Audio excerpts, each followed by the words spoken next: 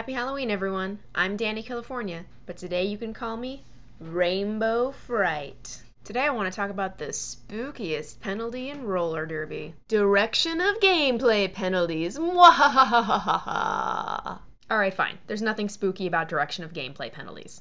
And yes, today would have been the perfect day to talk about ghost points, but what can you do? Hindsight's a biznitch. Direction of gameplay penalties include stopped and clockwise assists, which I'm not really going to talk about today, as well as stopped blocks and clockwise blocks, which are affectionately known as clock blocks. Dirty. But what's really scary about these penalties is how often they're being committed.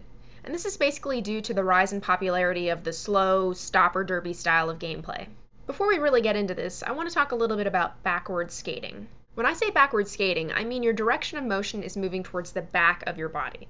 It has nothing to do with the direction you're skating in relation to the track. And why would you want to skate backwards in roller derby? Uh, cause it looks totally badass. Okay, there are other reasons too, but the point is, backward skating is totally legal in roller derby, and these penalties have nothing to do with the direction your body is facing, but the direction your body is moving in relation to the track. Clockwise blocking is all about the feet. When you engage another player, your feet must be moving in a counterclockwise or lateral direction. Clockwise movement is measured by your skates moving past a line perpendicular to the track boundary. Uh, what?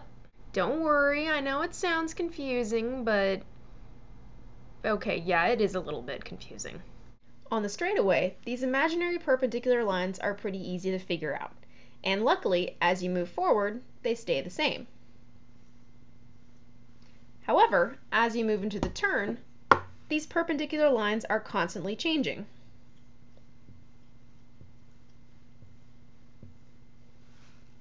Anytime you skate against one of these imaginary perpendicular lines, you're skating in a clockwise direction. If you engage someone while skating in this clockwise direction, it's a clockwise block.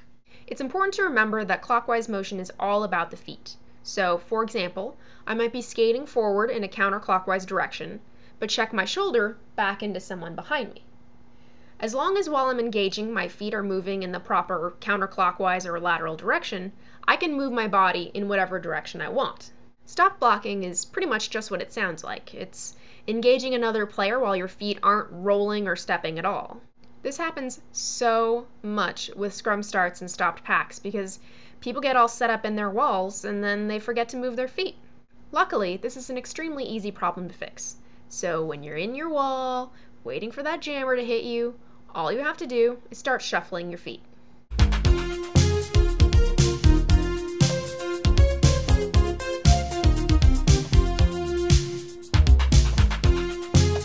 You can shuffle forward, you can shuffle side to side, whatever. As long as your feet are in motion and aren't moving in a clockwise direction, you're good to go.